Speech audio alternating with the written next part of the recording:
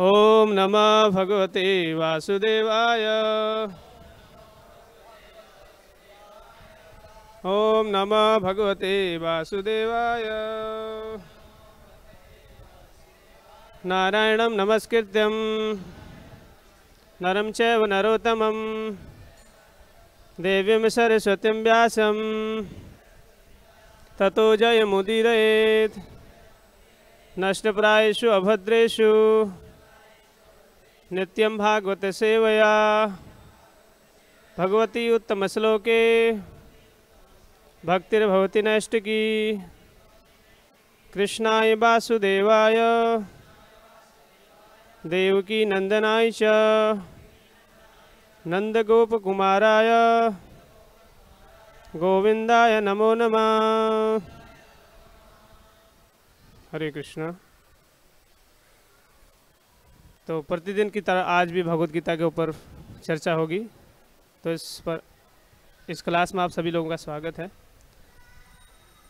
तो कृपया शांति बनाए रखिए। तो बोर्ड में यहाँ पर श्लोक है तो आप पीछे दोहरा सकते हैं। दुखेशु अनुदिग्रमना सुखेशु विगत स्पृहा वितराग भय क्रोध स्थितधीमृति उच्यते। दुखेशु अनुदिग्रमना सुखेशु विगत स्पृहा वितराग भय क्रोध स्थितधीमुनिरुच्यते दुःखेषु अनुदिग्रमना सुखेषु विगत स्पृहा वितराग भय क्रोध स्थितधीमुनिरुच्यते।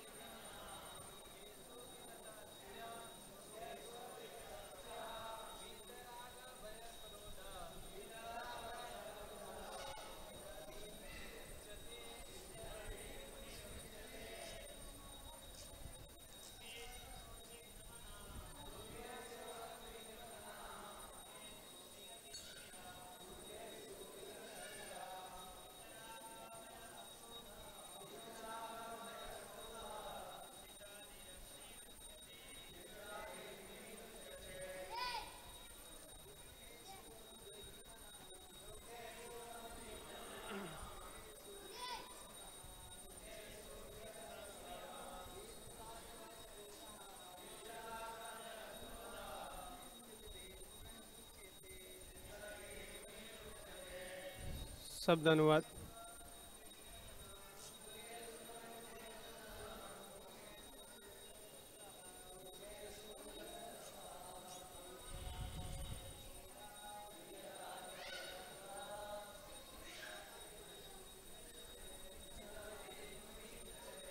शब्दार्थ दुखेशु तीनों तापों में अनुदिग्रह मनः मन में विचलित हुए बिना। सुखेशु सुख में विगत स्प्रह रुचि रहित होना।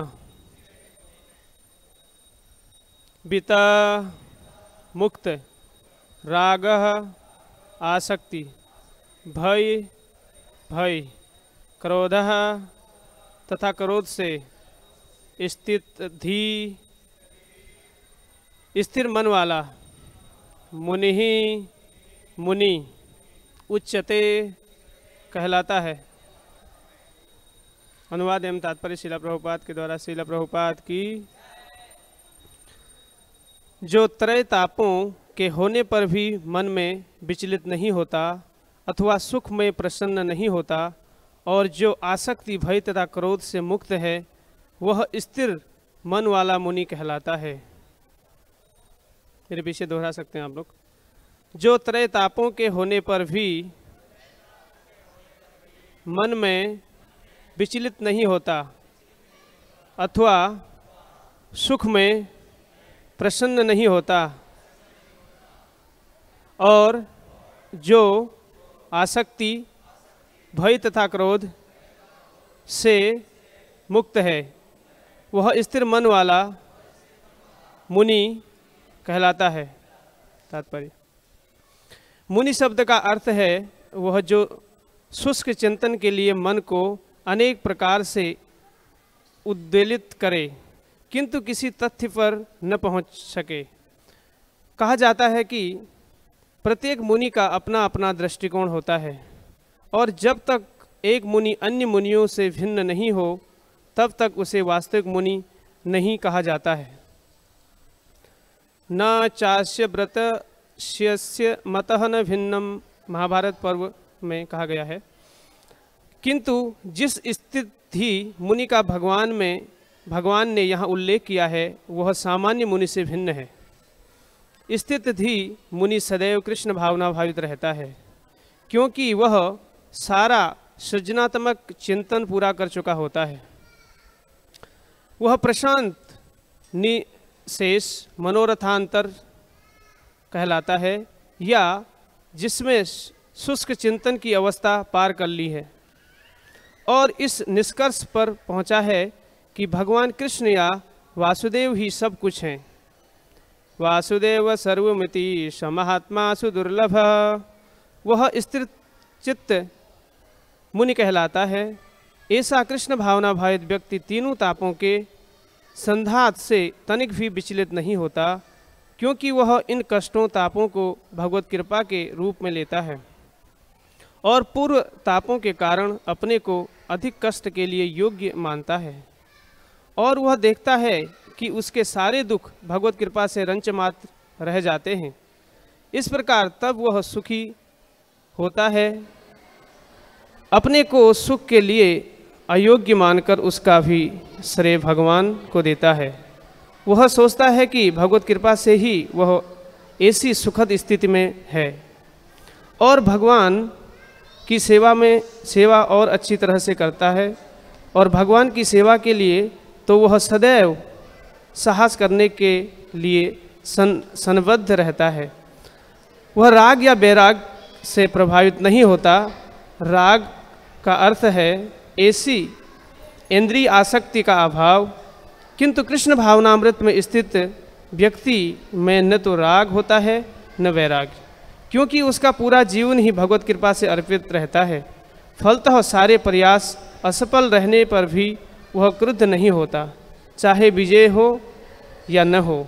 कृष्ण भावना भावित व्यक्ति अपने संकल्प का पक्का होता है। ॐ अज्ञानतिमिरान्ध्यानस्य ज्ञानाञ्जनशलाकया चक्षुर्मिलितं येन तस्मै श्रीगुरुवे नमः। श्रीचैतन्यमनोभीष्टं स्थापितं येन भूतले स्वयं रूपकदा मह्यं ददाति स्वपदान्तिकं वन्देऽहं श्रीगुरो श्रीयुतपदकमलं, श्रीगुरून् वैष्णवान् च श्रीरूपं साग्रजातं सहगणा रघुनाथान्वितं तं सजीवम्। साद्वैतं सहितं कृष्णचैतन्यदेवं श्रीराधा कृष्णपादान् सहगणा ललिता से विशाखा विन्तस्य हे कृष्णकरुणा सिन्धु दीनबन्धु जगत्पते। गोपेश गोपिका कांत, राधा कान्त नमस्तु ते तप्त कांचन गौरांगी, राधे वृन्दावनेश्वरी वृषभानुसुते देवी, प्रणामं हरिप्रिये। वाञ्छाकल्पतरुभ्यश्च कृपा च, पतितानां पावनेभ्यो वैष्णवेभ्यो नमो नमः। जय श्री कृष्ण चैतन्य, प्रभु नित्यानंद श्री अद्वैत गदाधर, शिवाशादि गौर भक्तवृंद हरे कृष्ण हरे कृष्ण कृष्ण कृष्ण, हरे हरे। हरे राम हरे राम राम राम, हरे हरे।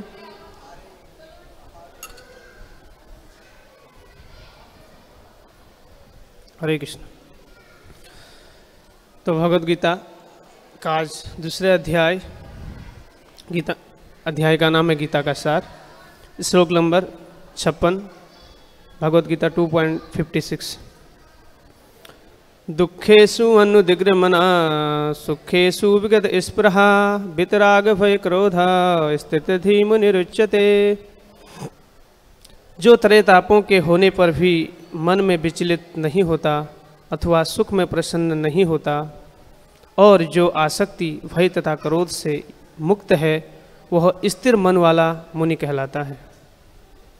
हरे कृष्ण।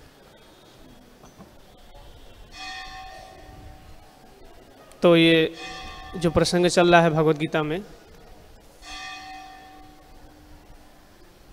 अब सभी लोग सुनते आ रहे हैं। तो स्थित प्रज्ञ स्थित प्रज्ञ के बारे में भगवान बता रहे हैं। तो चौवन नंबर श्लोक में अर्जुन ने प्रश्न पूछा था, स्थित प्रज्ञ से का भाषा समाधि से केशव, स्थित अति किम प्रभाषेत किमासीत, ब्रजेत, किमा? उसने चार प्रश्न पूछे हैं अर्जुन ने भगवान को। तो इस सारे चार प्रश्नों का उत्तर देते हुए भगवान इस अध्याय को पूरा करते हैं। इस सारे अध्याय में आगे के चौवन नंबर से बहत्तर नंबर तक सारे श्लोकों में इसका आंसर देते हैं। तो ये पहले भी एक बार मैंने क्लास लिया तो बताया था आपको। ये जो, ये चैप्टर है, इसको one, two, three, four, five, पाँच भागों में डिवाइड किया है। पाँच भागों में अलग अलग तरीके से भगवान ने अर्जुन को बताया है। पहला श्लोक नंबर एक से दस तक, अनिर्णय। अर्जुन का जो युद्ध नहीं करने का जो अनिर्णय था, उसका समर्पण हुआ उसमें। अनिर्णय। ये एक नंबर से दस नंबर तक। दूसरा ज्ञान। ज्ञान देके भगवान अर्जुन को आत्मा के बारे में सारा ज्ञान देते हैं। हम शरीर नहीं, आत्मा हैं। ग्यारह नंबर से तीस नंबर श्लोक में। और तीसरा, फिर कर्मकांड के तरीके से, कर्मकांड करते हुए आप कैसे भगवान की प्राप्ति कर सकते हो? कर्मकांड को कैसे आप भगवान की सेवा में यूटिलाइज कर सकते हो? उसको बताते हैं श्लोक नंबर इकतीस से अड़तीस में। और फिर बुद्धि योग के द्वारा भगवान बताते हैं, श्लोक नंबर थर्टी नाइन से फिफ्टी थ्री तक, उनचालीस से तिरपन तक। और फिर अंत का जो, ये लास्ट का जो है, इसमें स्थित प्रज्ञ के बारे में भगवान बताते हैं। चौवन नंबर से बहत्तर नंबर तक, स्थित प्रज्ञ से का भाषा, समाधि से केशव, स्थित किम प्रभाषित, किमासित ब्रजेत किमो। तो इसमें चार प्रश्न पूछे अर्जुन ने। तो पहला उनका प्रश्न है लक्षण। जो स्थित प्रज्ञ भक्त है, उसके लक्षण क्या होते हैं? ये 2.55 में ये लक्षण के बारे में चर्चा हुई है। और फिर वाणी के बारे में, वो कैसे बोलता है, उसके बारे में चर्चा हुई है 2.56 टू 57 और वो कैसे चलता है जो स्थित प्रज्ञ भक्त है वो कैसे चलता है उसकी चर्चा हुई है 2.58 से 63 तक। कैसे बैठता है उसके बारे में और कैसे चलता है उसके बारे में 2.64 से 72 तक चर्चा हुई है। उसका आंसर दिया है भगवान ने। तो ये अर्जुन के चार प्रश्न बहुत महत्वपूर्ण प्रश्न हैं। हम्म? जो स्थित प्रज्ञ है, उसके लक्षण क्या है? वो कैसा, क्या लक्षण है स्थित प्रज्ञ? स्थित प्रज्ञ के और उसकी वाणी कैसी हो, कैसे बोलता है, उसका व्यवहार कैसा है, वो कैसे बैठता है हुँ? हम्म? और वो कैसे चलता है ये चार प्रश्न हैं तो जैसे अर्जुन ने इसमें प्रश्न पूछे हैं, हम सभी को भी ऐसी कुछ जिज्ञासा करनी चाहिए, ऐसी आध्यात्मिक जिज्ञासा तो अर्जुन एक परफेक्ट क्वेश्चनकार थे हुँ? पूरे भगवत गीता में सोलह क्वेश्चन पूछे अर्जुन ने। तो उसमें से एक प्रश्न ये है इसको चार भागों में से डिवाइड किया गया। सिक्सटीन क्वेश्चन है मीन मीन जो क्वेश्चन पूछे अर्जुन ने पूरी गीता में भगवान को। तो अर्जुन प्रश्न पूछने वाले पहले ऐसे प्रश्न प्रश्न प्र, कैसा प्रश्न पूछना चाहिए उसके लिए क्वालिफाइड है। हम्म, हम लोग भी सारे प्रश्न पूछते हैं संसार में। हम्म, हम लेकिन अपने आप को नहीं पूछते हैं। हम कौन हैं? हमको खुद का पता नहीं है कौन है। बहुत सारे प्रश्न पूछते हैं, लेकिन अपना खुद का पता नहीं रहता है। हु आई है मैं कौन हूँ? और कहाँ से आया हूँ? भगवान कौन है? उनसे मेरा क्या रिलेशन है? जो हूँ मैं वास्तव में, मैं उसके बारे में नहीं पूछता हूँ। संसार के बारे में बहुत सारे प्रश्न हम लोग पूछते हैं। तो अर्जुन ने ऐसे वास्तविक प्रश्नों को पूछा है। तो बहुत महत्वपूर्ण श्लोक है, चौवन नंबर श्लोक। तो उसके बाद फिर पचपन नंबर श्लोक में भगवान बोलना चालू करते हैं पहले, इस क्वेश्चन का आंसर देते हुए। फिर सेवेंटी टू तक सारे क्वेश्चनों का आंसर देते हैं। तो वाणी के बारे में आज का श्लोक है फिफ्टी सिक्स दुखे सु दुखेशु अनुदिग्रमना सुखेशु विगतिस्परा वित राग भय क्रोध, स्थित धीमुनि रुच्यते। हम्म? तीन तापों में रह के भी भक्त, जो भगवान का भक्त है, वो कैसे ये सारी स्थिति में न तो दुखी होता है न सुखी होता है वो स्थिर रहता है। कैसे स्थिर रहता है? उसकी स्थिरता के क्या लक्षण हैं? वो इस श्लोक में आज के श्लोक में चर्चा हुई है। तो ये तो श्लोक का ये इससे पहले श्लोक में जो पूछा उसका इस, इसके लिंक सा ये चार प्रश्न हैं। तो आज का प्रश्न जो आज का श्लोक है उसके वाणी के बारे में आज में चर्चा हुई है। तो भक्त लोगों के जीवन में हम देख सकते हैं वैसे तो सभी के जीवन में है तीन प्रकार के ताप जो हैं इस संसार में सबको सहन करने पड़ते हैं सहन करना ही पड़ेगा दूसरा कोई उपाय नहीं हुँ? हम्म? जो नहीं करने के लिए बोलेगा तो उसको भी करना ही पड़ेगा हुँ? हम्म? जैसे प्रभुपा जी एक, एक लेक्चर में बताते हैं कि कुछ लोगों के अंदर कोई वृत्ति होती है इस शरीर में उसको पूरा नहीं करता है तो भगवान उसको वैसा शरीर जैसी उसकी चेतना रहती है दूसरे शरीर में वैसा दूसरा शरीर देते हैं जिसको मांस खाने की ज़्यादा आदत है तो भगवान उसको शेर बना देते। और नहीं चाहेगा शेर बनना, खाना चाहेगा, शेर नहीं बनना चाहेगा, लेकिन बनना पड़ेगा। तो वैसे ही इस संसार में तीन प्रकार के ताप हैं। उन तापों से सभी लोग उन तापों में हैं। उन तापों को सभी को सहन करना पड़ता है। नहीं चाहते हुए भी करना पड़ता है। आदि दैविक आदि भौतिक आदि आध्यात्मिक। आदि दैविक जैसे हम बोलते हैं, आदि दैवी आपदा हो गई। जैसे भूकंप आते हैं, सुनामी आती है गर्मी है इतनी इतनी सारी एसी लगी हुई हैं उसके बाद भी गर्मी होती है हुँ? हम्म? कोई चाहता नहीं कि इतनी गर्मी हो हमने फ़ैन लगाया है हुँ? हम्म? फ़ैन के सहारे बैठे हैं तो ये आदि आदि दैविक दैवी आपदा हम्म, देवताओं के द्वारा दिए जाने वाले कष्ट भूकंप आना अचानक गर्मी हम्म, और कुछ अचानक कहीं पर कोई एक्सीडेंट होता है गाड़ी का और बहुत सारी ऐसी चीज़ें हैं जो दैवी आपदा के द्वारा होता है हम्म, भूकंप सुनामी गर्मी सर्दी बहुत सारी ऐसी समस्याएँ संसार में। वो आदि दैविक हैं। दैविक आपदा के द्वारा हमको दिए जाते हैं। उसको हम हमको सहन करना ही पड़ेगा। जो नहीं चाहेगा उसको भी करना पड़ेगा जो चाहेगा उसको भी करना पड़ेगा। तो बुद्धिमानी है कि उसको सहन करें। सहन करना सीखें। और दूसरा है आदि भौतिक आदि भौतिक जो दूसरे जीवों द्वारा हमको कष्ट दिए जाते हैं। हम्म, मच्छर काटता है। और दूसरे हमारे अड़ोस पड़ोस के लोग हमको दुख देते हैं। हम सुखी कब होते हैं? जब पड़ोसी दुखी होता है। अब जब पड़ोसी सुखी होता है, हम दुखी होते हैं। तो ऐसा संसार में चलता है द्वंद्व। तो दूसरे जीवों के द्वारा जो हमको कष्ट दिए जाते हैं, वो आदि भौतिक हैं। और तीसरा है आदि आध्यात्मिक। हमारे मन के द्वारा जो हमको कष्ट मिलते हैं, इंद्रियों के द्वारा, इवन शरीर के द्वारा हम नहीं चाहते हैं कि हम गलत करें, लेकिन मन हमको फोर्स करता है हुँ? हम्म? कई बार हम चाहते हैं कि मंदिर में जाएँ, मंदिर के गेट तक आते हैं तो वहीं से भी पलट जाते हैं ऐसे कोई क्रैश कोर्स होता है, दो दिन का, तीन दिन का हुँ? हम्म? उसके लिए रजिस्टर भी करा के रखते हैं हम लोग पहले से प्लानिंग भी करके रखते हैं, बोलते हैं हम आएँगे जैसे मंदिर के बाहर तक आते हैं, वहाँ जाके हमारी, वहाँ पर आके प्लानिंग चेंज हो जाती है मन नहीं, वहाँ शनिमा में जाना था तो मन उधर लेके जाएगा और मन के ऐसे बहुत कार्य हैं, वैसे गीता में मन के बारे में तो बहुत बोला गया है। अर्जुन ने खुद भगवान को मन के बारे में बोला। पूछा, प्रश्न पूछा। तो भगवान ने उसमें क्या बता? हम्म? चंचल ही मन कृष्णा परमाथि बलवद्रम भगवान ने भी वही बोला। अब अभ्यास करो, वैराग्य लाओ, अभ्यास करो, सहन करो। विलिंग फीलिंग थिंकिंग तीन कार्य मन के। मन तो अपने काम करेगा, लेकिन आपको मन के हिसाब से नहीं चलना है। तो मन और शरीर के द्वारा जो, इंद्रियों के द्वारा जो हमको कष्ट दिए जाते हैं वो हैं आदि आध्यात्मिक कष्ट। हम्म? ये तीन प्रकार के कष्टों को भक्त लोग बड़ी आसानी से सहन कर लेते हैं। जो वास्तव में भक्त होते हैं। जो भक्त नहीं होते हैं वो विचलित हो जाते हैं। हम्म? तो भगवत गीता में भी भगवान ने सहनशीलता के ऊपर बहुत सारे श्लोक बोले हैं। आप देख सकते हैं तीन श्लोक लगातार भगवान ने बोले हैं। 2.14, 2.15, 2.16 मात्रा स्पष्ट कौनते शीते शीतोष सुख दुखदा आगमा पायनो अनित्या, तान तिक्षु भारत हम्म। तो भगवान बताते हैं कि ये जो दुख है, ये दुख का उदय क्षणिक है कुछ काल कर्म में, कुछ समय के बाद ये नष्ट हो जाएगा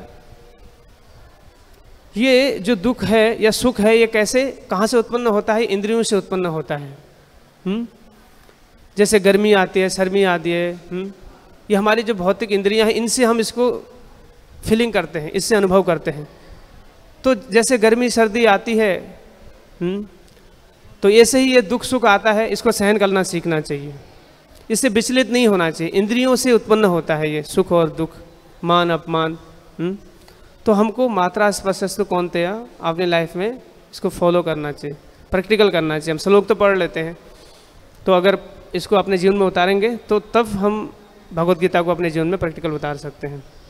इंद्रियों के बोध से उत्पन्न होता है। इससे विचलित मत हो, इसको सहन करो। ये भगवान सिखा रहे हैं। टू पॉइंट फोर्टीन में। और फिर फिफ्टीन में भी इसके बारे में चर्चा हुई है। यम ही न व्यथ्यंते पुरुषस्य पुरुषभ्य सम दुख सुखम धीर सोमर तत्वाय कल्पते।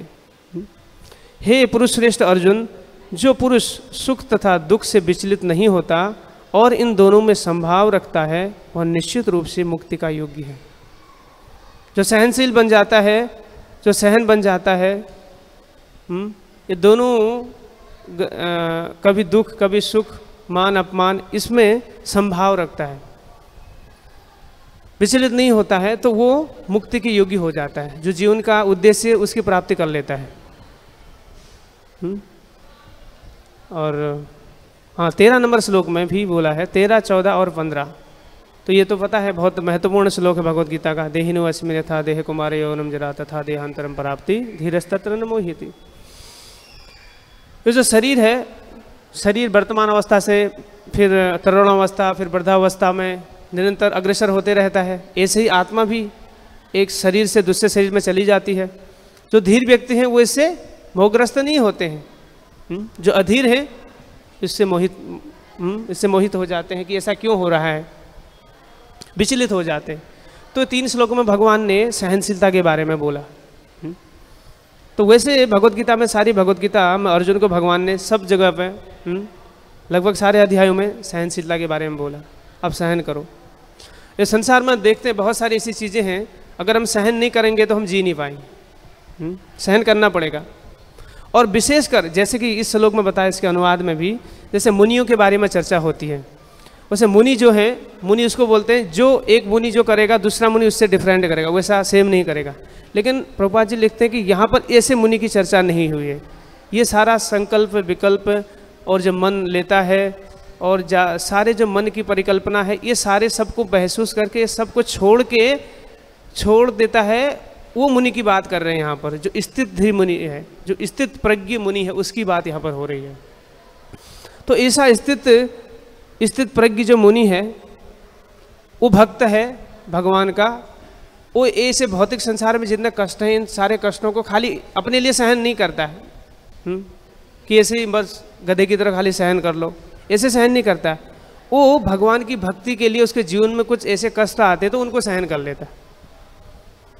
जो उसके जीवन का मुख्य उद्देश्य है, जो प्रिंसिपल है, उसको फॉलो करने के लिए, उसको प्रैक्टिकल करने के लिए छोटी मोटी जो रुकावटें उसके जीवन में आती हैं, उसको वो सहन कर लेता है। वैसे सब कुछ को सहन करना बोला, सहन करना बोला भगवत गीता में। अगर आप सही से नहीं समझेंगे तो हम बोले, फिर सब सहन करना बोला, गलत सलत जो है सब सब सहन करो। ऐसा नहीं। भक्ति के लिए जो हमारे अनुकूल है, उसको हमको सहन करना है। जो भक्ति के लिए प्रतिकूल है, उसको छोड़ना है। तो वास्तविक मुनि की भगवान यहाँ पर बात कर रहे हैं। स्थित स्थित थी, जो स्थित है, स्थित कैसे होना है, उसके बारे में सिखा रहे इन श्लोकों में। इसमें एक बहुत सारी, एक बहुत सारी ऐसे स्टोरीज हैं, लेकिन एक स्टोरी है मेरे पास, मैं आपको उसको बताना चाहूँगा। एक मंत्री था, एक राजा था। मंत्री भगवान का भक्त था। राजा उतना भक्त नहीं था। तो मंत्री के जीवन में जो भी कष्ट आते थे, वो भगवान की कृपा समझ के उसको सहन कर लेता था कुछ भी होता था अच्छा बुरा तो बोलता था, भगवान की कृपा है? हम्म? तो एक बार जंगल में वो राजा शिकार करने के लिए गया था जब शिकार करने गया था, बाण चलाने में उसके अंगुली कट गई? हम्म? राजा की तो ये जो मंत्री है, ये तो हमेशा भगवान की कृपा समझता है ये हँसते हुए बोला, सब भगवान की कृपा है तो राजा को बहुत गुस्सा आया। वो राजा है। राजा का इतना पूरा राज्य पर उसका अधिकार है। वो तो छोटा सा उसका मंत्री है। तो उसने उसको जेल में डाल दिया। तो मेरे मेरे जीवन में कष्ट आ रहा तो हंस रहा है। क्योंकि भक्त नहीं था वो नहीं समझ पाया कि भगवान की कृपा है। तो समय आने पर उसको समझ में आता है। तो फिर बाद में आ, उसको जब जेल में डाल देता है तो ऐसे वो आखेट खेलने के लिए जंगल में जाता है। तो जैसे भरत महाराज के जीवन में आपने देखा जड़ भरत जिसने पता होगा भागवत में सुना होगा तो उसको भी कुछ राजा रघुगण हम्म, भी उसको पाल की जोतने के लिए लेके गए थे और कहीं कुछ ऐसे लोग थे जो उसको देवी के पास लेके गए थे उसको बलि देने के लिए। देवी ने उनकी बलि ले ली उनको बचा लिया। ऐसे इनकी इसके जीवन में भी कुछ हुआ ये राजा के जीवन में। तो कुछ ऐसे लोग थे ऐसे अच्छे हट्टे कट्टे आदमी को बलि देना बलि में चढ़ाना चाहते थे उसकी बलि देना चाहते थे। तो राजा तो बहुत सुंदर दिखता था हट्टा कट्टा था। ये राजा को लेके गए। जब वो देवी के सामने बलि देने के लिए गए थे, जैसे ही उसको काटने वाले थे तो उसने बोला, थोड़ा चेक कर लो ठीक ठाक है कि नहीं है? तो उसकी अंगुली कटी थी। राजा की अंगुली कटी थी। तो राजा को छोड़ दिया उन्होंने। बोला, अरे, इसकी तो अंगुली कटी है, भगवान इसको, हमारी भगवान, हमारी देवी इसको एक्सेप्ट नहीं करेगी। जो लोग बलि चढ़ाते हैं, वो लोग का ऐसा रहता है, जैसे बकरी है या फिर जो भी है तो उसका कोई अंग कटा नहीं होना चाहिए। साफ़ सुथरा रहना चाहिए पूरा हुँ? तो राजा की अंगुली कटी थी। तो उसको अभी समझ में आया, जो मंत्री बोलता था, भगवान की कृपा है। अगर मेरी अंगुली नहीं कटी होती तो आज मैं बलि का बकरा बन जाता, मेरी बलि चढ़ जाती। तो राजा जैसे निकला वहाँ से छूट गया तो राजा तो बहुत खुश हुआ, अपने आप को भाग्यवान समझ रहा था और मंत्री के भी गुणगान कर रहा था। तो जाके तुरंत पहले जेल में गया, बोला, मंत्री को निकाल दो। मंत्री को निकाला। तो मंत्री को बोला, आपने जो बोला, अभी मेरे को समझ में आया। जो भी आप बोलते थे, भगवान की कृपा है। अगर भगवान की कृपा नहीं होती, मेरे हाथ नहीं कटता तो अभी मेरी बलि चढ़ जाती। तो उसने फिर मंत्री से पूछा, ये तो मेरे को समझ में आया कि भगवान की कृपा थी, ये मेरा हाथ कटा था, अंगुली कटी थी, इसलिए मैं बलि का बकरा नहीं पड़ा। लेकिन तुम जेल में क्यों गई? मंत्री ने बोला, ये भी प्रैक्टिकल है। क्यों? क्योंकि अगर मैं आपके साथ में रहता, आप तो राजा थे, वो पकड़ने वाले जो आए थे, आप मेरे को दे देते। मैं बलि का बकरा बन जाता। अच्छा हुआ आपकी अंगुली कट गई आप भी बच गए और मैं भी निकल गया। तो इसलिए हर हर हर स्थिति में वो क्या बोलता था? जो भी है भगवान की कृपा है। तो भक्तों के जीवन में ऐसा कुछ होता है तो उनके जीवन में जो ऐसे कष्ट आते हैं वो क्या समझते हैं? भगवान की कृपा है। तो अर्जुन के जीवन में भी आप देख सकते हैं भगवान इस भगवत गीता में अर्जुन को समझाते हैं कि आप सहन करना सीखो हम्म, सहनशील बनो और षड गोस्वामी अष्टकम भी गाते हैं हम उसमें भी बताया गया है धीरा धीर जना प्रिया प्रिय करो धीर बनो। जो अधीर है वो क्या करेगा? विचलित हो जाएगा। वो भक्ति पात में भक्ति के मार्ग में आगे नहीं बढ़ पाएगा। थोड़े से कष्ट आने में विचलित हो जाएगा। मोस्टली सारी भगवत गीता भगवत भक्तों के लिए ही है। भगवत गीता अर्जुन भगवान के भक्त था। इसलिए भग, भगवान ने अर्जुन को भगवत गीता सुनाई। नहीं तो एक ऐसे किसी अभक्त को सुना देते। हुँ? अभक्त लोग भी पढ़ेंगे तो भक्त बनेंगे। लेकिन इसका जो वास्तविक रहस्य है, गूढ़ रहस्य है, उसको जो भक्त हैं वही समझ सकते हैं। इसलिए अर्जुन भगवान का भक्त था। ऐसे क्वेश्चन अर्जुन ने किए हैं, तभी तो हम सबको भगवत गीता सुनने को मिली है। अर्जुन के जो प्रश्न हैं बहुत महत्वपूर्ण हैं। ऐसे बस छोटे मोटे प्रश्न नहीं है। शरीर के बारे में, संसार के बारे में दुखों से निकलने के बारे में, कष्ट से मुक्त होने के बारे में, भौतिक सुख सुविधा के लिए, इसके लिए नहीं है। तो इसलिए जो भगवान के भक्त होते हैं, जो अभक्त होते हैं, उनको लगता है, इनके पास कुछ नहीं है, बस ये सब मंदिर ज्वाइन कर लिए। ऐसा नहीं है। जो सबसे सुमेध सा है, कलयुग में जो सबसे बुद्धिमान लोग हैं, वो भगवान की भक्ति करते हैं। और उनको ही ये गीता समझ में आती है। और दूसरा, गीता साधारण मनुष्य को समझ नहीं आती है। हुँ? गीता या फिर भगवान को समझने की क्वालिफिकेशन क्या बताई भगवान ने? क्या होना चाहिए? कौन समझ सकता है भगवत गीता? बता सकता है आप में से कोई? भगवान को कौन समझ सकता है? भगवत गीता कौन समझ सकता है?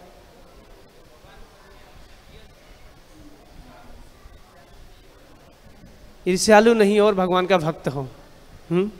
श्रद्धावान हो। श्रद्धावान भजते। भगवान तो जो जिसके अंदर श्रद्धा है, जिसके अंदर इगरनेस है और जो भगवान का दोषी नहीं है, जो भगवान को दोषी नहीं ठहराता जीवन में कष्ट आते तो भगवान को भगवान ने ऐसा कर दिया, नहीं बोलता है। जो सब चीज़ को, जो उसके भक्ति के जीवन में जो कष्ट आते हैं, उनको भगवान की कृपा समझ के। प्रभुपाद जी, इसमें लिखते हैं, आपने सुना अभी अनुवाद में, भक्तों के जीवन में अगर कोई छोटे मोटे कष्ट आते हैं तो क्या समझते हैं, ये भगवान की कृपा से बहुत कम हो गई। हम्म? जैसे कोई भक्त होगा, वो कैसे समझ सकता है? एक भक्त है, अभक्त, हम कैसे देख सकते हैं, कैसे ये दोनों भगवान की कृपा को समझते हैं और भक्त समझता है और अभक्त नहीं समझता है। जैसे एक ट्रक आ रहा है और इधर से एक बाइक जा रही है। बाइक वाला ट्रक से लड़ जाता है, उसका एक्सीडेंट हो जाता है तो उसके दोनों हाथ फ्रैक्चर हो जाते हैं? दूसरा एक अभक्त है, उसके, वो एक भक्त है, इसके दोनों हाथ टूट गए। और दूसरा अभक्त है उसका खाली एक अंगुली कटती है। जो भक्त है, दोनों हाथ भी टूटते हैं, क्या समझता है? मैं पूरा मेरा जीवन समाप्त होने वाला था। ये भगवान की मर्सी थी, इसलिए मेरे दोनों हाथ टूट गए और अभी दोनों हाथों का ऑपरेशन होगा, थोड़ा टाइम लगेगा, लेकिन मैं, मेरा जीवन बच जाएगा। मैं भक्ति करके ये हमेशा के दुखों से, इस संसार में इतने दुख हैं, शरीर में इतने दुख है, दुखों का रियलाइजेशन भी होगा और वो समझेगा कि भगवान कृपा है और इस जीवन में भक्ति करके ये जीवन से मुक्त होकर दुखों के जीवन से भगवान के धाम को जा सकता हूँ। और ऐसा प्लानिंग करेगा, ऐसे भक्ति करेगा, ऐसी उसकी समझ होगी। और दूसरा जो अभक्त है, उसका थोड़ा सा अंगुली कटेगा तो भगवान को गाली देगा वो। हम्म? ऐसी छोटी सी रोड बना दी, ऐसा कर दिया, ऐसे लोग हैं। क्या है तुम्हारा है क्या है? बस वो विचलित हो जाएगा। तो भगवान की मर्ज़ी समझ के अगर जीवन में कोई कष्ट आते हैं, भक्त होते हैं तो वो सहन कर लेते हैं, अभक्त उसको सहन नहीं कर पाते हैं। और श्रीमद् भागवतम में एक श्लोक है। उस श्लोक का मैं अनुवाद आपको बताऊँगा। श्रीमद् भागवतम के दसवें स्कंद के चौदहवें अध्याय के आठ नंबर श्लोक है। टेन, फोर्टीन, एट में। तो उसका अनुवाद मैं पढ़ रहा हूँ, आप सुन सकते हैं। हे प्रभु, जो व्यक्ति ये ब्रह्मा जी उपदेश देते हैं, हे प्रभु, जो व्यक्ति अपने विगत दुष्कर्मों के फलों को धैर्यपूर्वक सहन कर, करते हुए तथा अपने हृदय, वाणी तथा शरीर से आपको नमस्कार करते हुए प्रमाणिकता से आपकी अहतों की कृपा प्रदत्त किए जाने की प्रतिज्ञा करता है। वह अवश्य ही मोक्ष का भागी होता है, क्योंकि वह इसका अधिकार बन जाता है। मोक्ष भी हाँ उसका अधिकार बन जाता है, उसको मोक्ष प्राप्त हो जाती है।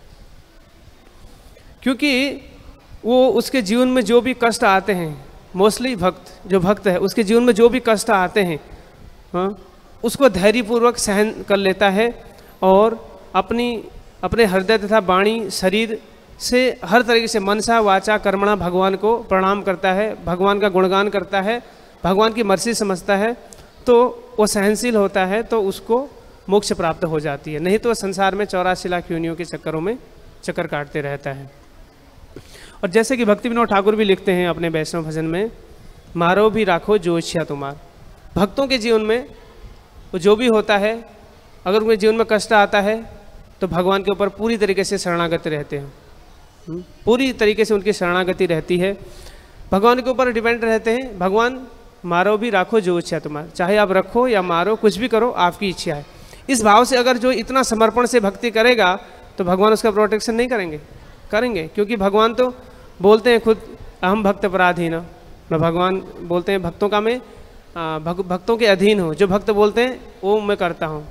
भक्त भगवान की सेवा करते हैं और भगवान भक्तों की सेवा करते हैं। ये उनके आप आपस का आदान प्रदान चलता रहता है।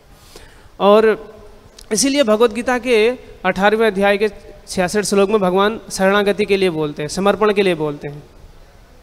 हम्म? छोटे से समर्पण के लिए नहीं बोलते हैं। क्या बोलते हैं? सर्वधर्मान परित्यज्या माम एकम शरणम ब्रज अहम त्वाम स्वरूपापेभ्य मोक्ष श्यामी माँ सारे धर्मों का, कर्मों का परित्याग करो। मेरी शरण में आओ, डरो मत, मैं तुम्हें सारे पापों से मुक्त मुक्त करूँगा। तो भगवान देखते हैं कि जो भगवान का भक्त है, उसकी परीक्षा कैसे होती है, उसकी भक्ति की माप कैसे वो कर सकता है? भगवान देखते हैं कि मेरे लिए भक्त कितना समर्पित है। मेरी सेवा में कितना सीरियस है, कितना समर्पित है। भक्ति तो सभी लोग करते हैं। हुँ? सबकी भक्ति की अपनी डिग्री रहती है। सकाम भक्ति है निष्काम भक्ति है कर्म मिश्र भक्ति है ज्ञान मिश्र भक्ति है हम्म? अलग अलग आ, अलग अलग चीज़ की प्राप्ति के लिए लोग भक्ति करते हैं। जो केवल भगवान की प्रसन्नता के लिए भक्ति करता है हम्म, उसको भगवान ने सर्वश्रेष्ठ बताया है। छह प्रकार की मुक्ति होती है। जो भक्त होता है छह प्रकार की मुक्ति को भी नहीं चाहता है। वो केवल भगवान की सेवा करना चाहता। हम्म? मारो भी राखो जो इच्छा तुम्हारा। भगवान की सेवा करना दूसरा उसका उद्देश्य नहीं है। तो शुद्ध भक्ति है, उसके लिए भगवान इस श्लोक, ये अठारहवें अध्याय में बताते हैं। अठारहवें अध्याय वैसे भगवदगीता का कंक्लूजन है। तो इसमें भगवान पूर्ण समर्पण पूर्ण समर्पण के लिए बोलते हैं। अठारहवें अध्याय के छियासठ नंबर श्लोक में। पूरी तरीके से जो समर्पित होगा, उसका भगवान प्रोटेक्शन करेंगे, उसका भार उठाएँगे। थोड़ा समर्पित होगा, ठीक है, थोड़ा बहुत उसको मिलेगा, लेकिन जो पूरा समर्पित होके, अभी इसका मतलब यहाँ, ऐसा नहीं है कि यहाँ पर सब, और भी लोग, ग्रस्त लोग भी बैठे होंगे। वो बोलेंगे कि प्रभु जी, आपने तो बोला कि सब कुछ छोड़ छाड़ के भगवान की शरण में आओ। ये भक्त लोग तो इधर बस आगे बैठ गए, हम कैसे बैठे? ऐसा नहीं है। उसका मतलब क्या है, जो आपके, आप जो कुछ भी करते हो, वो भगवान को समर्पित करते हुए आपको करना है। हम्म? जो भी आप करते हो, भगवान को समर्पित करते हुए करना है। और अलग अलग जैसे हम आजकल देखते हैं नए नए धर्म बन जाते हैं। भगवान ने बोला सर्वधर्मान सारे धर्मों को मेरी शरण में सारे धर्मों को छोड़ के मेरी शरण में आओ। मतलब जो भगवान बोलते हैं, वही धर्म है। तो श्रीमद् भागवतम का छठवें स्कंद में भी हम देखते हैं। तो वहाँ पर वहाँ पर भी बताया गया है कि धर्मन तो साक्षात भगवत पढ़ितम जो भगवान बोलते हैं, वही धर्म है। तो वैसे बहुत सारे धर्म हैं। मम्मी का धर्म है, डैडी का धर्म है हम्म? संसार का धर्म है, पति का धर्म है, पत्नी का धर्म है, और सरकार का धर्म है, सब धर्म है सब लोग बोलते हैं, जो करो, जो इच्छा है, वो करो हम्म? यथो मत तथोपत हम्म? तो इस तरीके से बहुत सारे धर्म बन जाते हैं वो सारे धर्मों को छोड़ के भगवान बोलते हैं अलग अलग अगर आप अलग अलग धर्मों को पालन करने का प्रयास करोगे, आप कर भी नहीं पाओगे, पूरा भी नहीं कर पाओगे जैसे एक एग्ज़ाम्पल है, जैसे आपको पेड़ में पानी देना है तो पेड़ की अलग अलग टहनियों में पत्तों में दोगे तो आप थक भी जाओगे और पेड़ भी अच्छे से हरा भरा नहीं रह पाएगा। इसलिए समर्पण क्या? पूर्ण समर्पण क्या? है पेड़ की जड़ में सारा पानी डाल दोगे तो पत्ते पत्ते हरे भरे रहेंगे। सारा पेड़ संतुष्ट रहेगा। तो इसी तरीके से जो इतने सारे हमारे धर्म हैं मनोधर्म है हम्म, मन के धर्म हैं वो कहीं बताए नहीं गए हैं। लोग बोलते हैं हमारे में ऐसा चलता है हम्म, या हमारे इलाके में चलता है या हमारे भगवान या हमारे हमारी परंपरा ऐसी चलती है वो सब छोड़ के भगवान क्या बोलते हैं इसलिए सारे धर्मों को कर्मों को छोड़ के जो भगवान बोलते हैं हम्म, वो करना है। तो फिर हम वो हमारा वास्तविक धर्म है। भगवान बोलते वही धर्म है।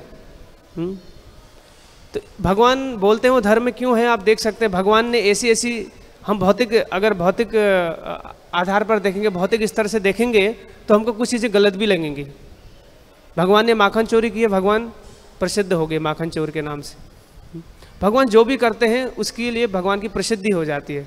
अगर हम करते हैं तो हम उसके लिए दंडित हो जाते हैं। आप करें तो लीला, हम करें तो करेक्टर ढीला।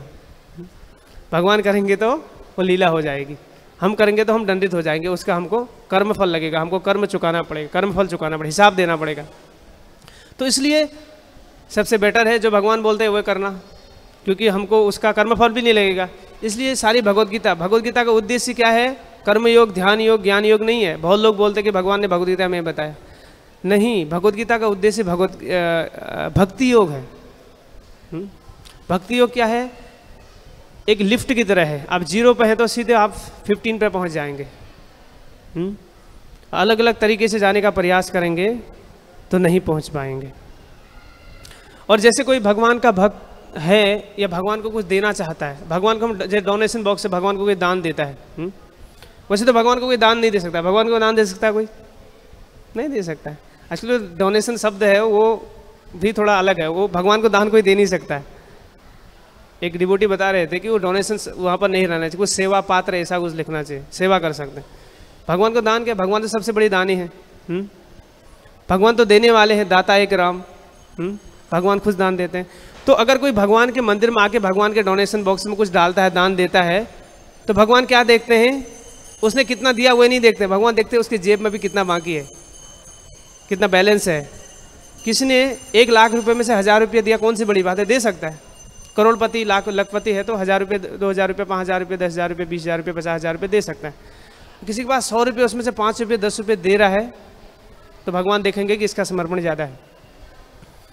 तो इस श्लोक का यही कंक्लूजन है कि हमारे जीवन में अगर भक्ति के जीवन में कोई भी कष्ट आते हैं तो हमको उसको भगवान की कृपा समझ के उसको सहन कर लेना चाहिए। हरे कृष्ण। श्री श्री राधा दास बिहारी भगवान की, सीताराम लक्ष्मण हनुमान की, गौर निताय की, शिला प्रभुपाद की, श्रीमद् भगवद गीता की